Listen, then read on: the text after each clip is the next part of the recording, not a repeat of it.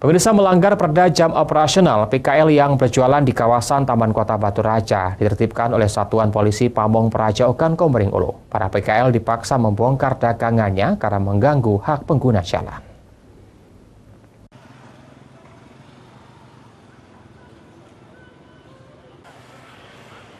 Satuan Polisi Pamong Praja Ogan Komering Ulu akhirnya menertibkan pedagang kaki lima yang berjualan di kawasan Taman Kota Batu Raja. Para PKL tersebut melanggar perda jam berjualan. Perda yang mengatur tersebut memperbolehkan berjualan mulai pukul 3 sore, namun terlihat masih banyak pedagang yang berjualan sejak pagi sehingga mengganggu para warga hendak berolahraga dan berjalan kaki. Penertiban itu berlangsung setelah masyarakat resah akibat ulah pedagang yang seakan dibiarkan melanggar perda yang ada. Yang jelas kami akan melaksanakan uh, penertiban dengan cara sesuai dengan aturan, Pak. Iya, dengan aturan baru kita laksanakan. Kalau mereka masih mandel ya terpaksa kita laksanakan sesuai dengan aturan, kita bawa ke kantor, kita apa namanya kita piringkan. Kalau bisa kita piringkan, kita.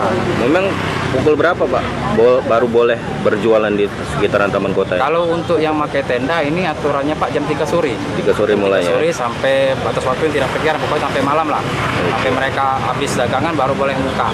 Nah, saya atas nama koordinator sini tidak mengizinkan mereka buka jam 1 ataupun di bawah jam 12 ya karena masalah ini kan tempatnya ini sudah diberikan pukul 15 sore dan tidak ada pengecualian Ironisnya, usai penertiban, pedagang mulai membuka lapaknya kembali di kawasan ini.